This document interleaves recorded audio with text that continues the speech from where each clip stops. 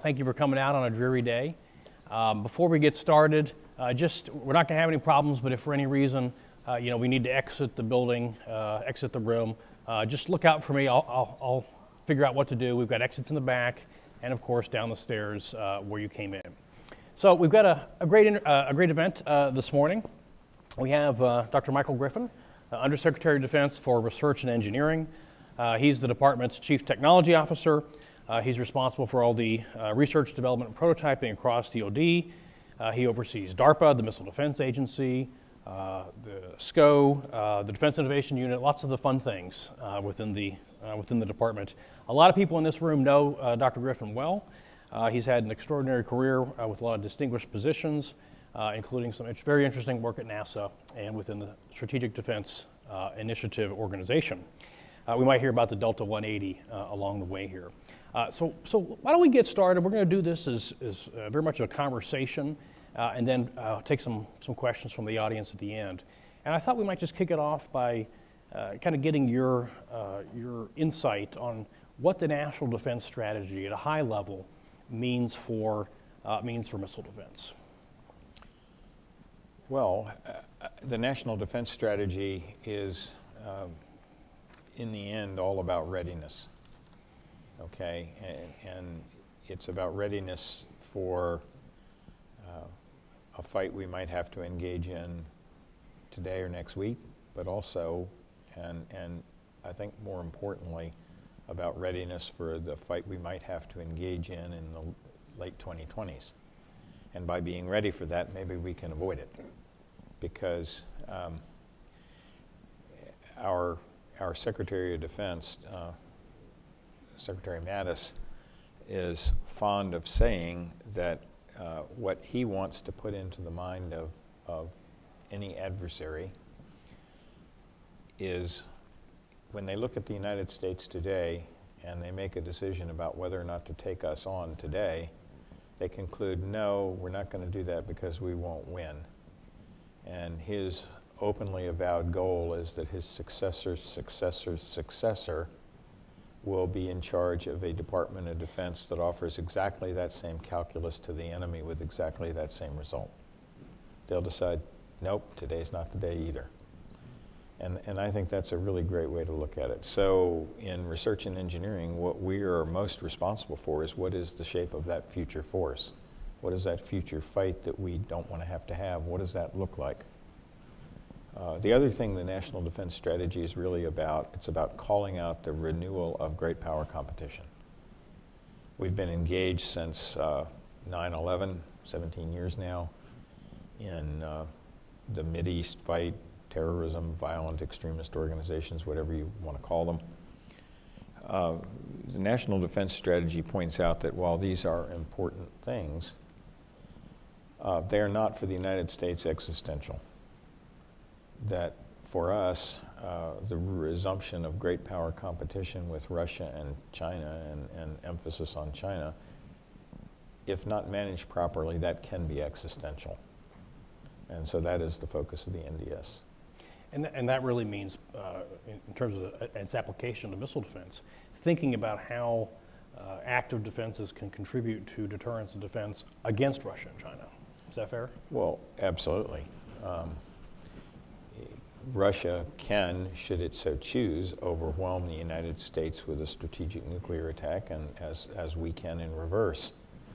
We hope above all things that such an event never comes to pass, and one role of even limited missile defenses is to uh, confuse and confound such an adversary uh, with the question about ex exactly, if I choose to attack, exactly how much gets through and where does it get through and, and that's an important value of missile defense. Well, you're a, a rocket scientist, rocket engineer. Um, as you kind of look past over the, the last couple decades, uh, you know, what kind of technologies and what kind of innovations uh, have you seen emerge and are still emerging that is going to make, you might say, the next missile age different qualitatively, quantitatively from, from those in the past? What, what are the what are the subsets? What are the technologies that, are, that, are, that have made things really change? Well, one of the things that we see emerging even today is, you know, the, the unmanned aerial vehicle, uh, we'll, we'll see other kinds of, you know, unmanned ground vehicles, unmanned underwater vehicles. Um, This in combination with the idea of swarming attacks is um, certainly concern, and it may be a transformative concern. Uh, We need to learn how to defend against such things, and we need to learn how to perpetrate our own versions of those. Uh, For defense against them, one of the things that I think will be most promising approaches is, is directed energy in one form or another. We often think about directed energy as large lasers, and I've certainly been involved with some of that for decades. But we also have high, power, high power microwaves, uh, which can be very effective um, as an, what we call an electronics kill. So that sort of thing, um, it's really hard to envision handling swarming attacks by purely kinetic means. Um, So that's one of the future threats that I think we face. And presumably glide vehicle technology being another uh, big piece of that. Well, the, on, on, not necessarily in a swarm, but certainly a, uh, we've seen the emergence over the last decade of particularly uh, Chinese uh, aggression in the form of multiple dozens of tests of hypersonic glide vehicles, rocket, rocket boosted long range gliding vehicles, uh, which can be designed to be highly maneuverable and thus very evasive, particularly in the terminal phase, um, which are relatively low signature compared to the kind of strategic missile threats we've faced in the past, um, and for which we have not yet deployed uh, adequate defenses and for which we have not yet deployed our own counter offense.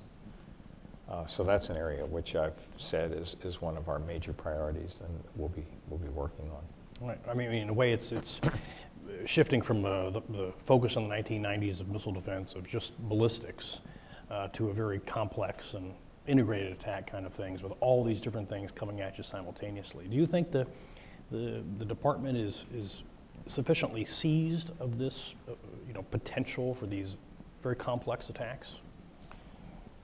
I think we're, I, I think as a department, we're really lined up on the criticality of modernizing our force structure, both offense and defensive, uh, against what we see coming in the future. Um, the trade we face in an environment where, you know, resources are always limited and we've spent uh, the last 17 years with, as I say, other priorities. And then the decade before that was the cessation of the Cold War and the peace dividend. So it's been a long time since we've really reinvested uh, national treasure in modernizing our force. Uh, so we have a lot of ground to make up. Now, across the department, I think we're well lined up in the criticality of, of doing so. Um, we're also trying to balance that against um, being ready for today's fight. You know, en- enough enough force structure uh, to be able to, to, deter, to deter adversaries today. Uh, that's that's a difficult balance, but I don't talk to anybody at all in the department who doesn't see the need to reinvest.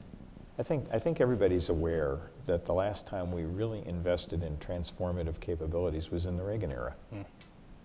Uh, you know, we introduced stealth fighters, stealth aircraft.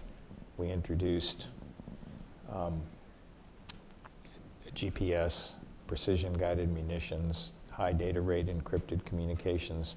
These things were transformative. Now, those transformations were initiated by actually one of my predecessors in the research and engineering world, uh, Dr. Bill Perry, who uh, I met later when he was on one of my boards of directors and who, of course, later became Secretary of Defense. Um, but that era was the last time where we just really heavily invested in capabilities which just overwhelmed the adversaries that we faced in Gulf Wars 1 and 2 and in Kosovo and Kosovo and, and other conflicts in which we've had to take part. Um, the kinds of things we, we bought with that investment, however, you know, now they're available in Kmart. So if the United States is going to remain ahead, we have to reinvest. I mean, a, a generation or two has gone by since that era, and uh, other people are not stupid, and other people don't stand still. Uh, so it's, it's time for us to get back to work. So your job is to be at the forefront of, of those technologies and that kind of that kind of transformation. Um, but you know, there's other there's other ways in which we can impose costs upon an adversary um, that might not be the, the most cutting edge and uh, technological things. I'm thinking kind of passive defense and deception, uh, and frankly, just really really cheap mass. Uh, your thoughts on kind of how that might fit into this this mix, this high-low mix?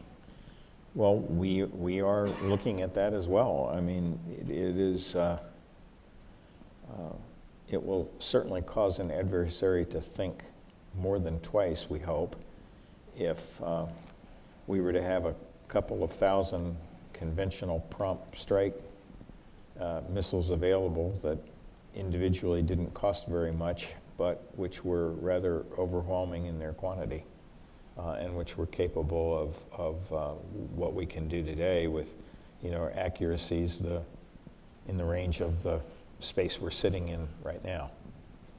Uh, we, are, we are looking at that as well as very high um, capability, cutting edge mm-hmm. Uh, weapons of war. So you mentioned lasers uh, a minute ago and directed energy more broadly. Uh, what kind of what kind of investments do you see going on there in the near term that can really field what kind of capabilities? I'm thinking five years, the inside of 10 years kind of a thing. What, what's, what do you see there as, as, as happening soon? Well, broadly speaking, without trying to put too fine a point on it, where we are today is um, I want to be a little bit more forward leaning than to say in the lab, but in units of onesies or twosies, we can, we can roll out tens of kilowatts of, of for example, laser power. Uh, in some particular technologies, we might be able to produce a bit more. Um, that is within a factor of two or three of being useful on a battlefield, on, on an airplane, on a ship, um, even in space for limited purposes. Uh, that's a, a, useful range. So, in my opinion, we are no more than a few years of having, particularly in the laser world, uh, directed energy weapons of, of military utility. We need to focus our efforts. Uh, it's, it's one of the old jokes in the directed energy world that, that uh, these systems are the weapons of the future and always will be. Right. So I regarded as one of my, one of my jobs to get real capability uh, into operational hands, and I think we're at most a few years from that. Now, from there, you need another factor of three or four to have a space control weapon, a, a missile defense capability, space-based boost phase or mid-course uh, capability with a, a, large directed energy weapon. We need to be in the megawatt class to have that. And that's not right around the corner, but it's not utterly out of reach either. We can see the pathways to that. So you're going to see in upcoming budgets for missile defense, you're going to see a renewed emphasis on laser scaling uh, across several technologies because we feel we have to do that. So for every I think somebody said for every action, there's a reaction. Um, how do you see the investments in directed energy and the kind of the fieldings that you're talking about? How do you see that shaping the behaviors and imposing costs on the other great powers? I don't know. Uh, I, I'm not inside the heads of our adversaries, um, so I won't comment on that one. Okay, fair enough, fair enough. So let's talk a little bit about the sensors. Um, you're a, a, very big proponent of space sensors.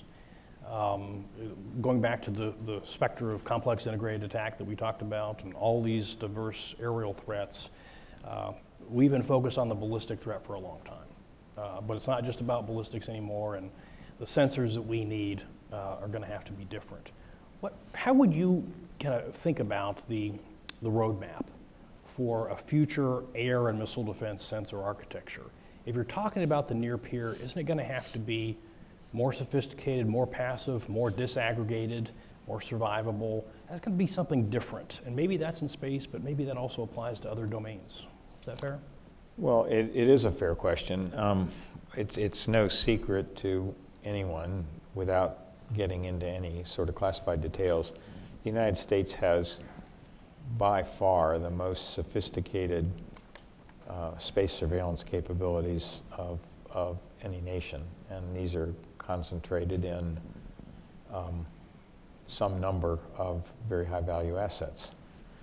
Uh, my, my friend and colleague, General John Hyten, commander of uh, STRATCOM, has referred to these as juicy targets, quote unquote.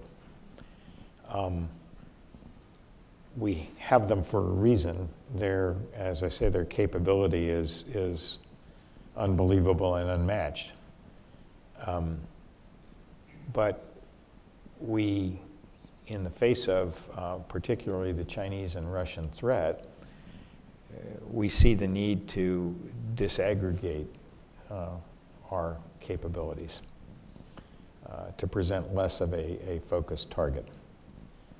Uh, we also, uh, I've mentioned the hypersonic threat earlier. Uh, this is a threat with a much reduced signature factor of 10 or 20 times less than the strategic missile threat that we've dealt with, with which we've dealt in the past. So we need to be somewhat closer to the action. Um, this group will know that the Congress has mandated um, that we uh, deploy a uh, persistent timely global uh, sensor, space sensor layer uh, for exactly these reasons. For reasons of disaggregation and resilience, um, to present a, a less concentrated attack surface to the adversary, uh, and to be able to get after the emerging threat that we see today. This is not a threat in the future. We, we know that China and China in particular has done dozens of tests of hypersonic systems. Um, Russia has done fewer but still impressive. Uh, this is a threat that our adversaries are developing. Now, it's interesting to note, I, I have noted in other fora that the United States did all the fundamental research in these areas. Um, we really did, and we published much of it. Uh, it was not a capability we chose to weaponize. Uh, we didn't think that the world needed necessarily more weapons, and the United States doesn't seek adversaries. Other people have sought to be our adversaries and are succeeding at that. And so our choice is how and, and when and where do we respond, but we have to respond. So if they choose to weaponize these capabilities, then, then we will have no choice but to respond in kind. So, staying on the space sensors for a moment, um, uh, I wonder if you might sort of walk us through the, uh, the relative strengths and weaknesses uh, uh of different kinds of orbits there. Uh, low Earth orbit, medium Earth orbit, maybe some sort of combination of those. Uh, what's, what's your feelings on that? Well, my basic feeling is that the United States needs to um, be prepossessing in space. Uh, we need to make it clear, uh, as we have done in multiple presidential policy statements, uh, that the United States will secure and maintain freedom of access to and, and uh, ability to move in space for ourselves and our allies.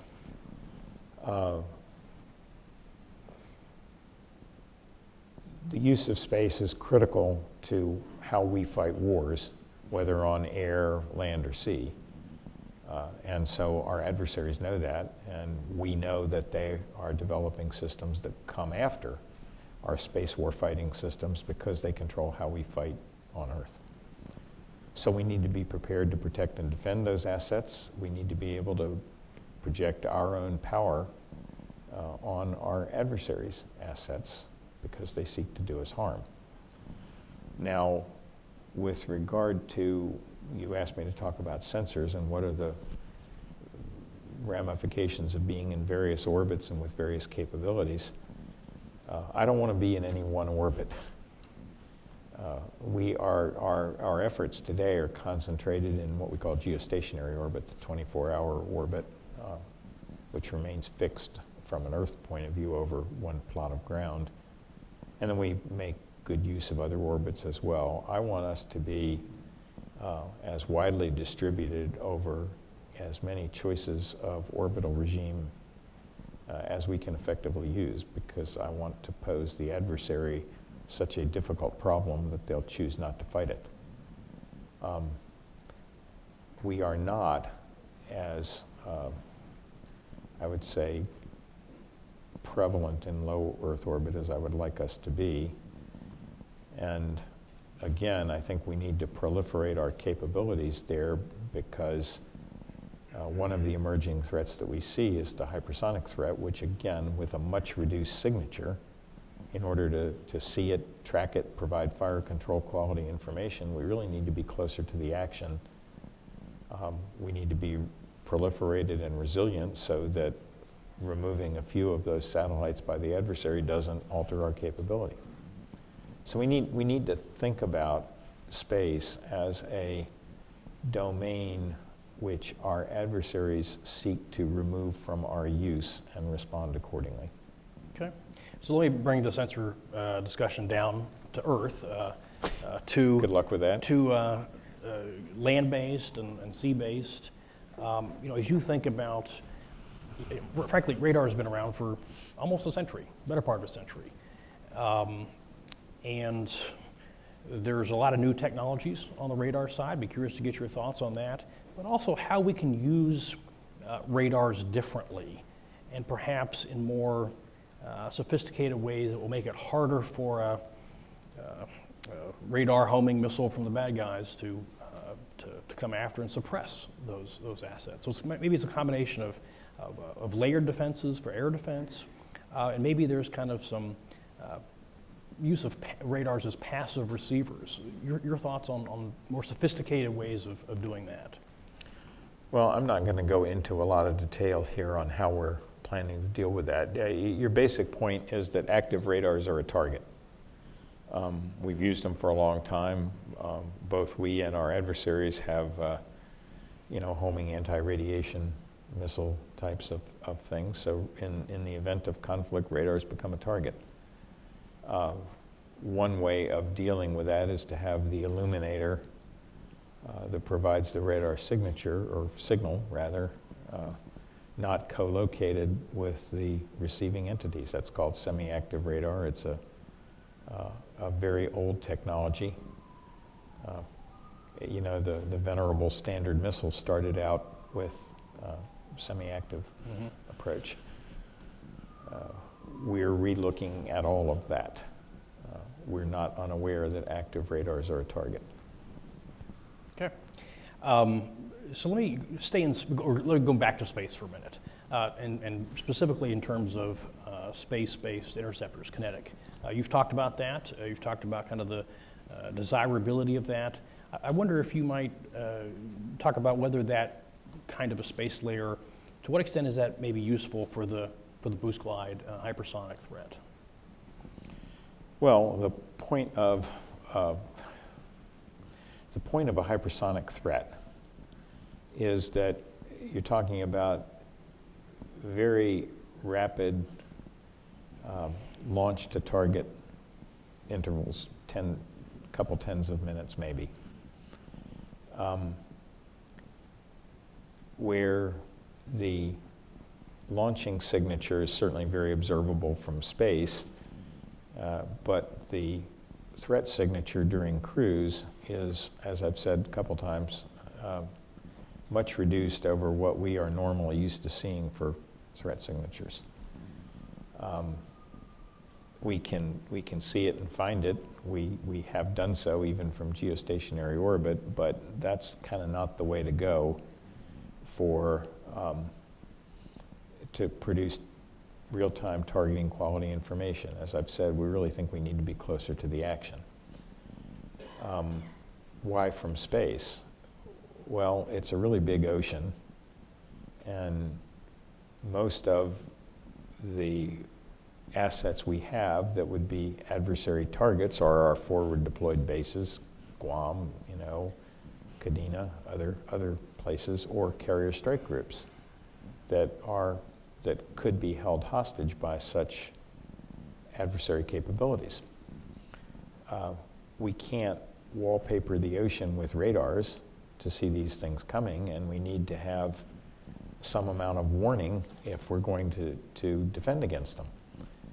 Uh, our existing radar systems don't provide that kind of warning, and we will never ever hit a threat we can't see coming in time.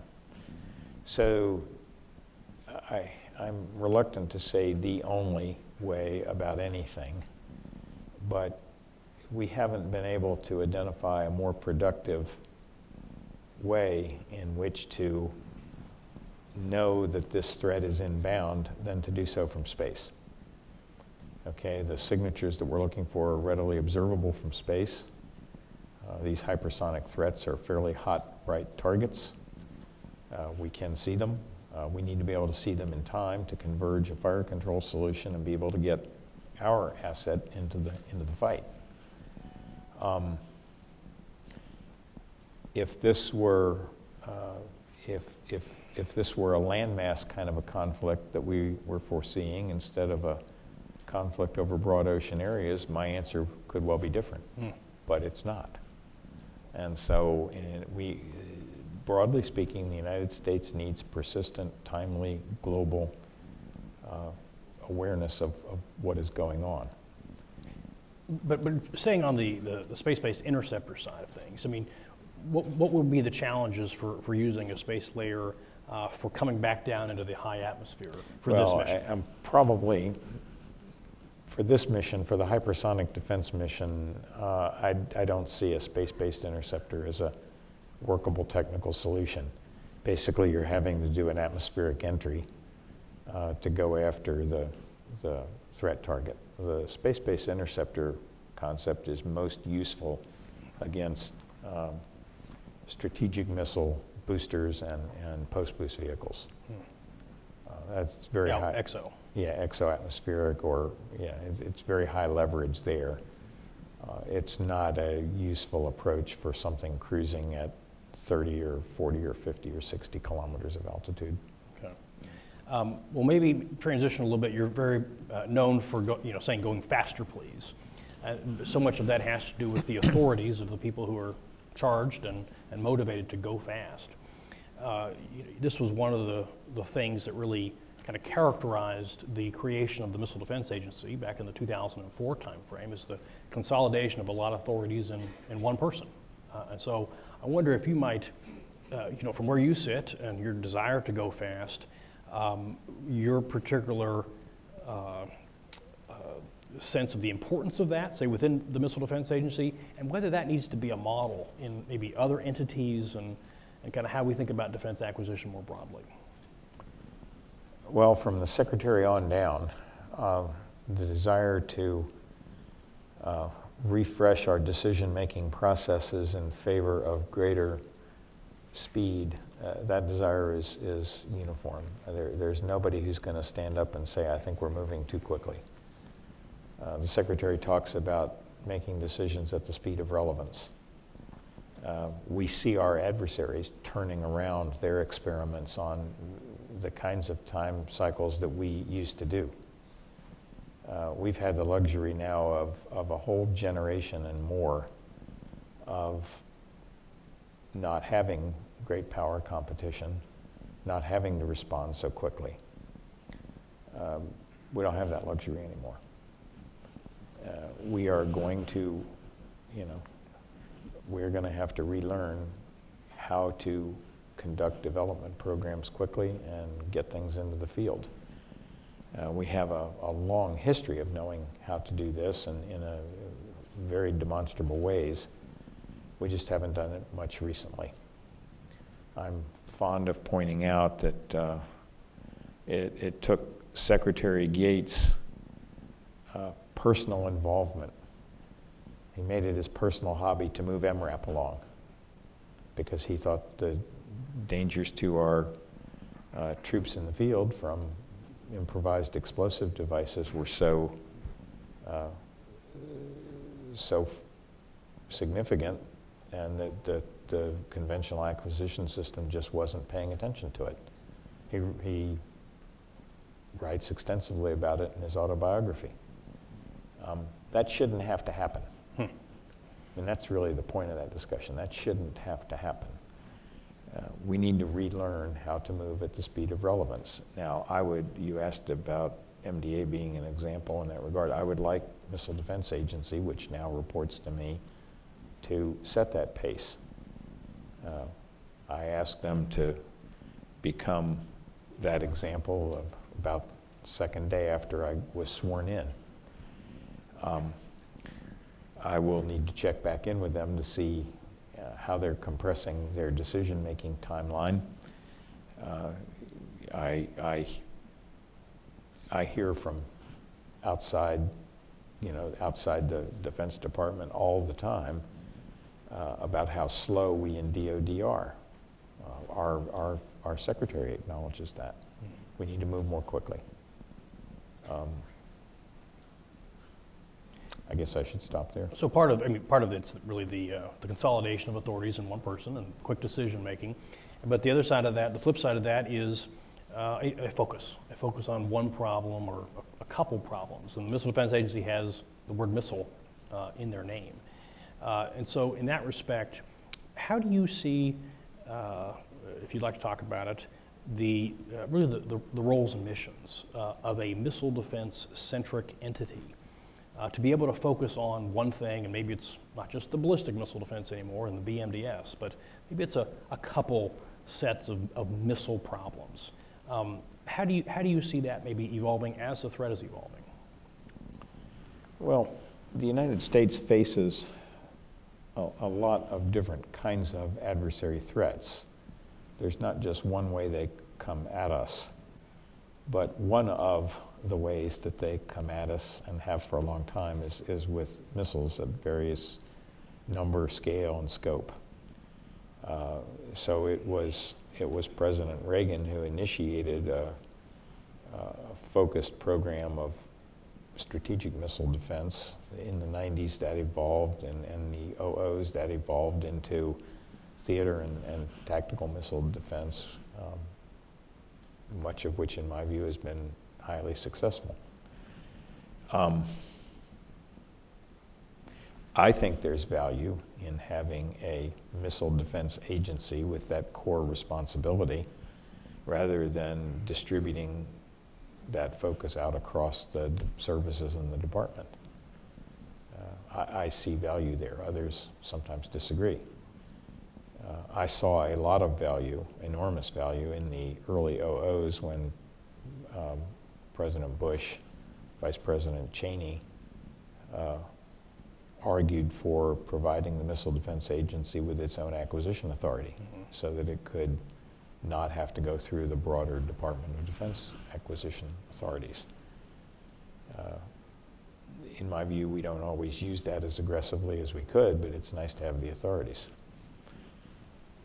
Uh, so I see value in, in, in having a concentrated focus by an agency on a particular class of threat. Now, Secretary Carter, uh, eh, when, when the emergence of Chinese hypersonic threats became, uh, came to the fore, Secretary Carter uh, assigned the hypersonic missile defense threat also to MDA. I think that was appropriate. I've not, I've not chosen to realign that. Um, so as adversaries come up with new approaches, we may have to come up with new responses, but I think broadly speaking, missile defense lodged in a particular agency is a good thing. Yeah. Well, I mean, I mean uh, entity with the word you know, missile defense in its name is going to wake up every morning and be focused on that. Um, it's been, what, 16 years since you know, the end of the ABM treaty. Um, we've got four families of, of missile defenses out there fielded and being operated by the services. Um, to what extent do you think that within our lifetimes, uh, the service cultures will uh, really adapt, really change all that much to make missile defense or air, air and missile defense rather, and hypersonic defense one of their core missions and identities? Or is that probably unlikely to happen? I'm not notably good at predicting the future, except in cases where I think bad will happen, and I'm remarkably good at predicting bad. Uh, I'm not so good at predicting good. Um, let me let me offer that, you know, frankly, in, in the larger Department of Defense scheme of things, I don't think it matters what entity wearing what badge is addressing a particular problem as long as the problem's getting addressed.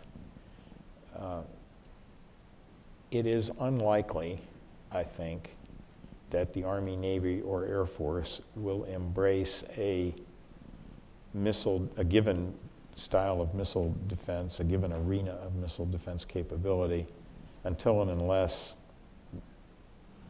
they have a dog in that particular fight that, that, with which they're co-aligned. Um,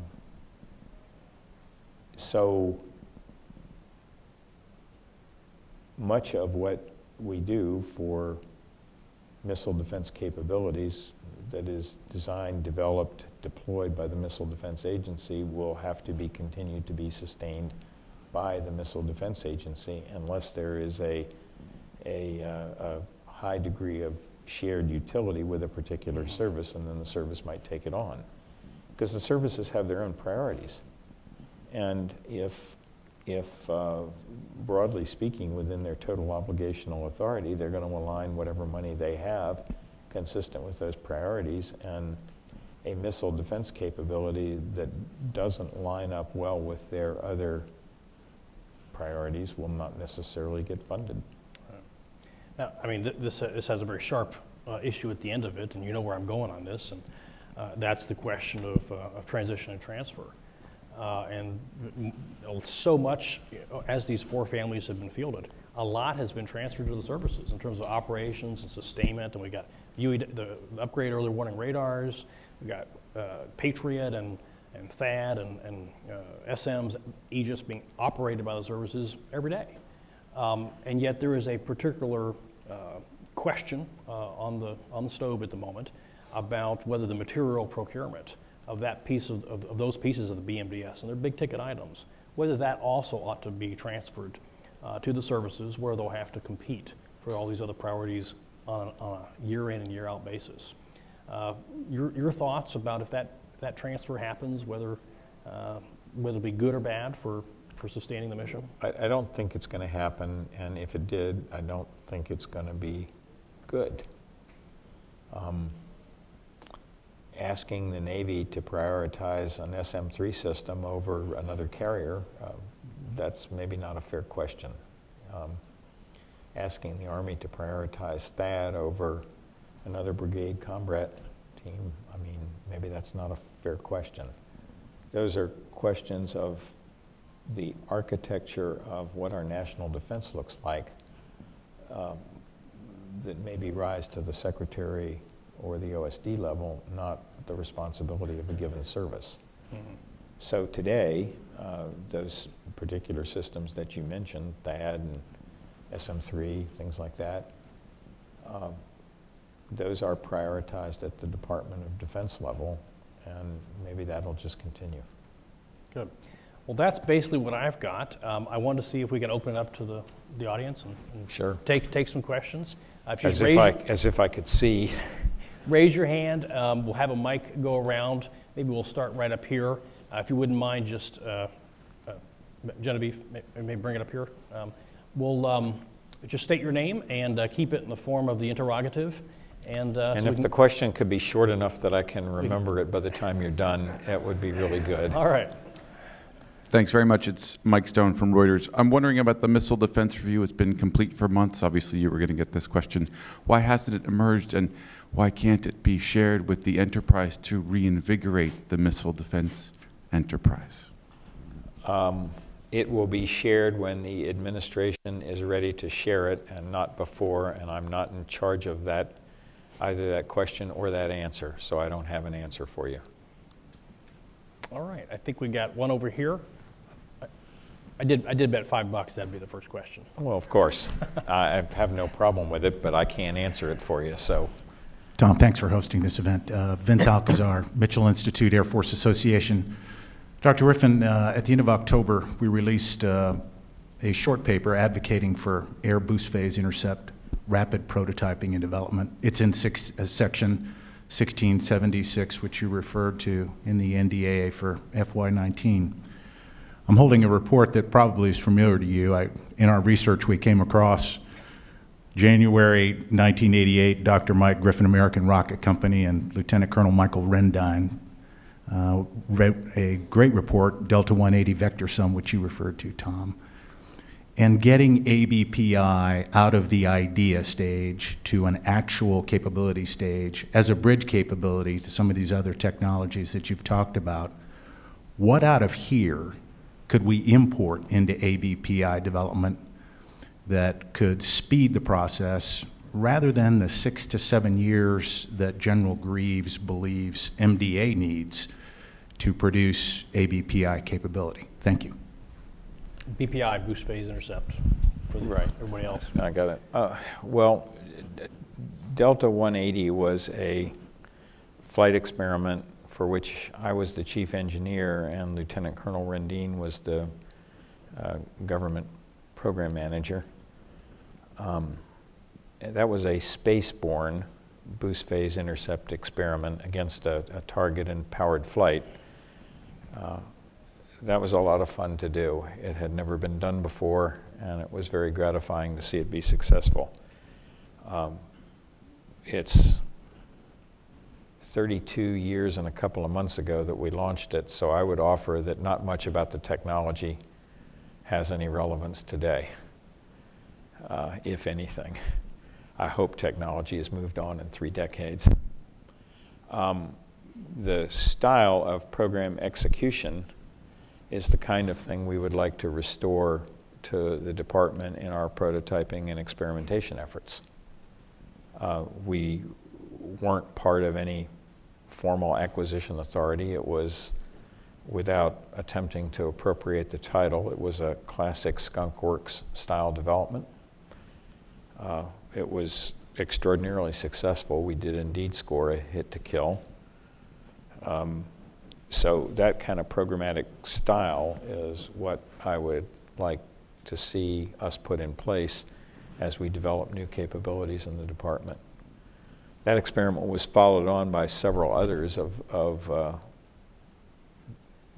diverse nature, having in common that they had not been done before and were done in a very expedited style. It was probably the most rewarding period of my career. I'm often asked if, if uh, the question starts out with its own conclusion. I'm often asked if running NASA wasn't the coolest thing I ever did, and I worked for NASA four times, the last time I ran it. Um, but the coolest thing I ever did was that set of experiments in the late 80s and early 90s where we, uh, we were able to run at full speed and, and do things that had never been done before. Great, all right, who else? So I will take this one right here, and then we'll come over here. Should we be expecting some other cool experiments like that in the, in the I- coming year? I hope so. Hi, Benjamin Din with Bloomberg. Uh, shifting gears a little bit, um, in June you testified before the House Armed Services Committee and you expressed concerns over Chinese exfiltration of U.S. intellectual property and technology, as well as uh, mentioning concerns about supply chain access. I think you uh, singled out microelectronics. My question for you is uh, since then, has the Pentagon uncovered more evidence of Chinese attempts to hack the US, whether through software or hardware vulnerabilities? Um, I'm not going to comment at all on uh, U.S. and specifically defense vulnerabilities to uh, hacking by adversary nations or exfiltration. Uh, The testimony in that hearing was, was carefully thought through. Um, What I'm going to do is to refer you to Vice President Pence's superlative speech about a month ago, uh, talking about Chinese behavior across the board, to include exfiltration, to include a bunch of things. I'm going to refer you to that speech. Read it, pay attention. Uh, it was a superlative speech, uh, and I'm, I won't say I won't say more. All right, uh, over here in the red tie, up, up front here. Or ju- w- Wait for the mic if you would mind. I'm Carlos Avillon. I'm an economist. I um, Well, I had a couple courses in economics. I liked them a lot, but I'm not an economist. the, um, the the reason why China has become um, such a big threat it's because its rate of economic growth is so much faster than that of the U.S. and uh, um, most most defense experts um, seem resigned to the idea that as that big gap between the rates of growth of the two countries continues, eventually China will have a much larger economy and thus it will have more weapons, produce more weapons every year, and perhaps even with matching technology. And um, have you also have this perception within your colleagues that it's inevitable? I- I'm saying that because I've been doing research for two decades, and I've developed an, a new economic theory, very outside the box, very iconoclastic, that will guarantee a rate of economic growth for the youth that would match that of China and would not make this situation inevitable. Well, I don't regard, I, I regard very few things as inevitable. I'm, I'm not going to comment on economic theories because of the profound level of my ignorance of such things.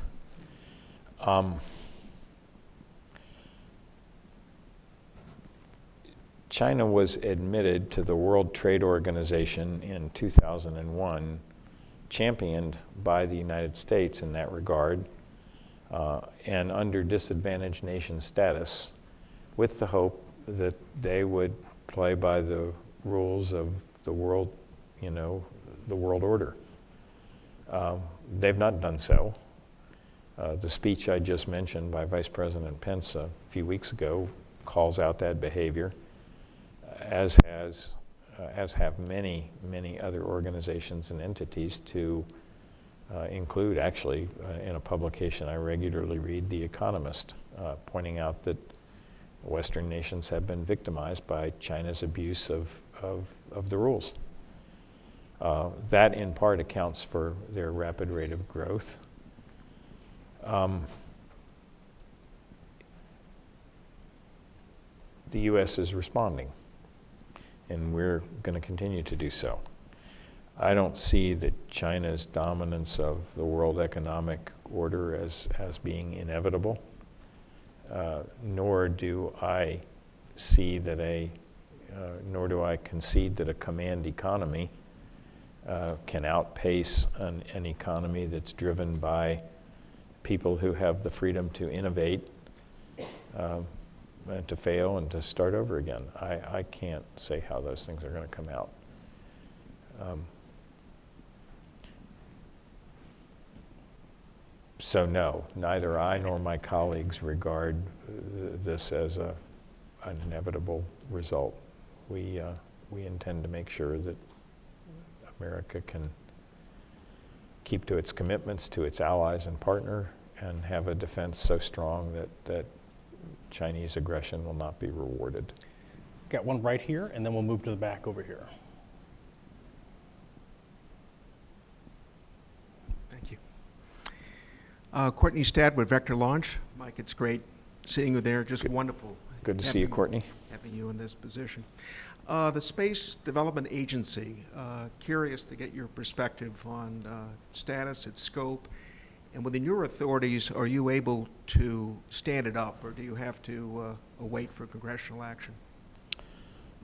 Uh, the whole issue of the Space Development Authority or agency and, and what we do in space is, uh, forgive me, uh, still up in the air. Um, the, this question even arises out of NDAA 18, where in section 1601 of, of the law, the Deputy Secretary of Defense was charged with um, telling Congress how the department is going to reform its management of, of the space enterprise. Um, the Space Development Agency is, is one of the tools we offered up as a way that we're going to re-energize the space development culture, uh, shorten the time cycles that we talked about, bring some new things to the table. Uh, that was part of our response back to Congress in the 1601 report. Um, further details of what we do inside the department, it, it's, it's not even that I know and can't tell you. If I knew and couldn't tell you, I would just tell you that I can't tell you. We don't have that settled yet. So beyond saying that, you know, the deputy's working on it, that the senior leadership of the department is in regular discussions on the matter. If I go farther than that, I'm, I'm getting out ahead of my headlights. Sorry. Well, we don't want you to do that, but um, can I nevertheless connect that with the, the issue of, of space sensors? Uh, and you mentioned that uh, the hypersonic threat has been assigned to MDA. Do you, to, as of today, do you see the, uh, the acquisition of that space sensor layer being an MDA thing, or is that also up in the air? Well, I, I don't, I'm not sure I see it being solely an MDA thing, um, although I, I, without question, they're part of the process. The Congress has specifically directed us to deploy a space sensor layer. Uh, we're going to do that. I mean, while I'm at least sitting in my position, we're not going to openly violate the law. We're, we're told to do this, and, and we will be. Now, I think most of you here are familiar with the DARPA blackjack solicitation, which is in you know classic DARPA fashion, uh, uh, an, an, open uh, solicitation for an experiment to deploy multiple uh, small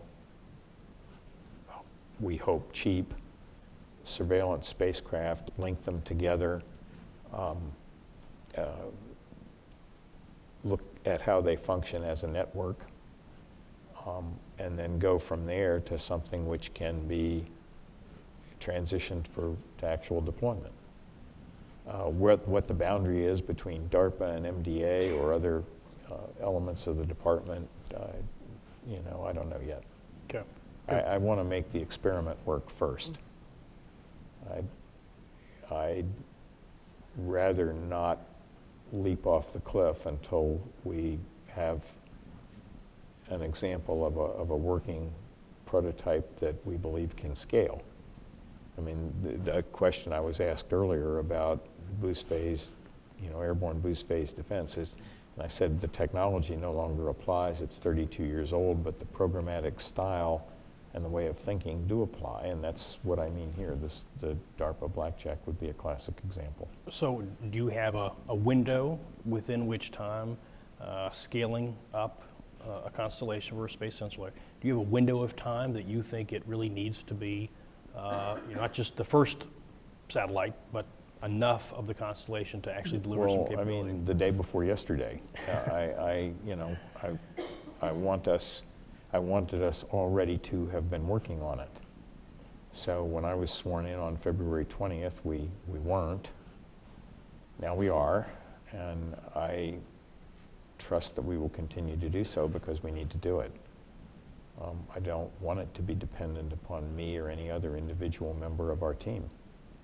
But 2030 is uh, too late. Uh, we'll get it as soon as we can get it. I'm not going to. Got it. I, I don't have dates to give you. Okay. All right. I'm not, again, I'm not, it's not that I have dates in my head that I'm not telling you, it's that we're working on it. Very good. We have one in the back over here. Yes, sir. Good morning. Uh, I'm Jack Pappas. I'm an old guy, and I'm one of the three guys that got the ATBM originally into the federal budget in the late 70s and early 80s. I have uh, three questions that all bear on uh, uh, development of the, uh, of the business.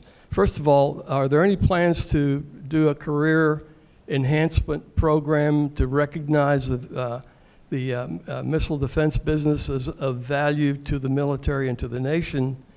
And in the process of that, what, what steps uh, do you contemplate taking to do a cultural reorganization of the relationships among the defense agencies and, and looking at the acquisition aspects of being able to, to buy something once you organize to do so, um, would it make sense to create a special emphasis procurement system that would be one that we would like it, how we would like it to be, so that eventually the existing procurement system could be transitioned into a more effective organization?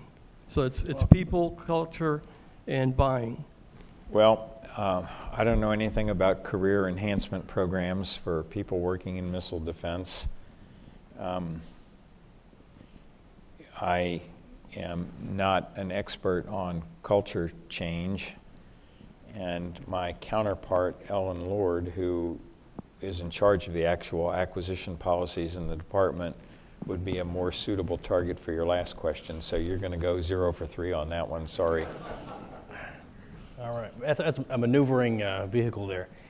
Uh, well, let me just thank you again for all your time here. Um, uh, we want to be respectful of your time, uh, but you know, as I said in the beginning, you've had such a, an amazing career over the years. Um, what's the sort of thing that we can do as a country to, to generate more Mike Griffins uh, for defense? Not sure you want more of those. One might, one might be enough. Many would argue that one is one too many. Um, look, but I get the spirit of your question. Um, the, the real, the really important part of your question is what can be done to generate, by the time they get to be old, senior organizational leaders who have a, a deep technical background, because that's all I have going for me. I've, we've agreed that I'm not an economist, I'm not an expert on culture change, and you know, I can't see well enough ever to have worn a, a uniform. But, but also a sense of urgency. But, know. but the sense of urgency. So, what the United States um, has going for it is that when we make it clear that things are important, uh, our people, and especially our younger people, um, rise to those challenges.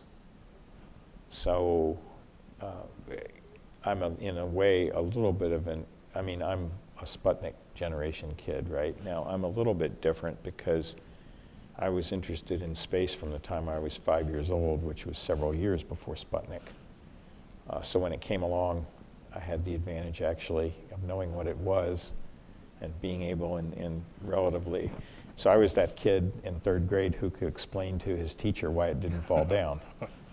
Um, but my whole generation benefited from that challenge. I went to college on scholarships that were motivated by the need to train, tech, to, to provide technical training and incentives for kids to study those things.